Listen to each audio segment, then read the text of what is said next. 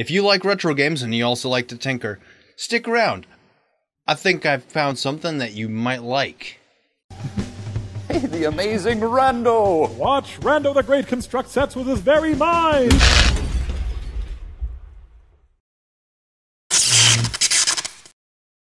What's up, rascals? So this isn't a regular vlog, but this is something that I just had to share with you guys. As most of you know, the older game systems didn't come with wireless controllers. It wasn't a technology that was very reliable at the time.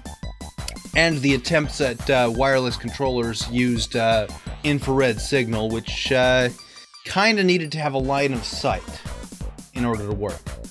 Unlike today's technology with Bluetooth, where you it doesn't rely on line of sight as much as what the hell does Bluetooth rely on? A while back, I also did a uh, unboxing video of a product by 8BitDo. The uh, where's that? Dumpy, why do you have my controller? Give it back. You almost hit me in the face. Anyway, this is my 8BitDo Pro controller that I use with my Switch. I can also use it with my Retron 5 or an NES system if I use this dongle.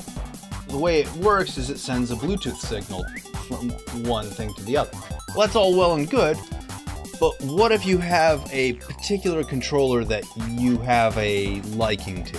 Like, you have a favorite controller, but you also like the idea of that controller being wireless. Well, 8BitDo has you covered because they've just come out with DIY kits for converting your controllers to Bluetooth.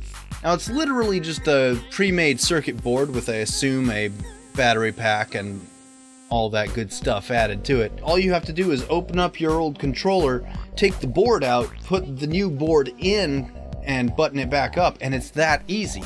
They have kits for the original NES, the Super Nintendo, the Sega Genesis slash Mega Drive.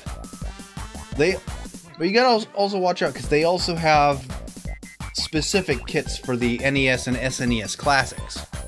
I'm not sure why they're that different, but uh, I'm not an expert.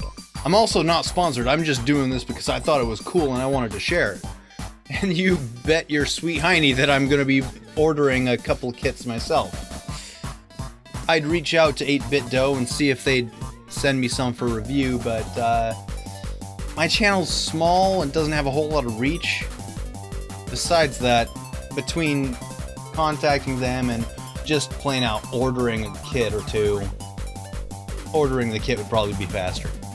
And these aren't like expensive kits either. They're 20 bucks a pop. So it's a it's a reasonable price and it's worth a shot to me. It, it's worth checking out.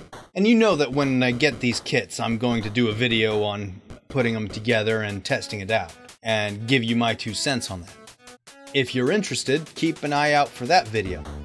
And if you liked this video, let me know by giving that like button a bop.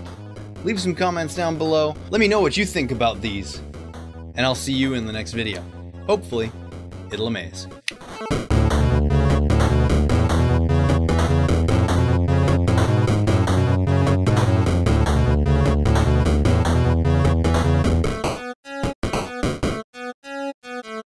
Once again, we'd like to remind you the Unamazing Rando is not sponsored by 8BitDo. He just thinks their stuff is really, really cool.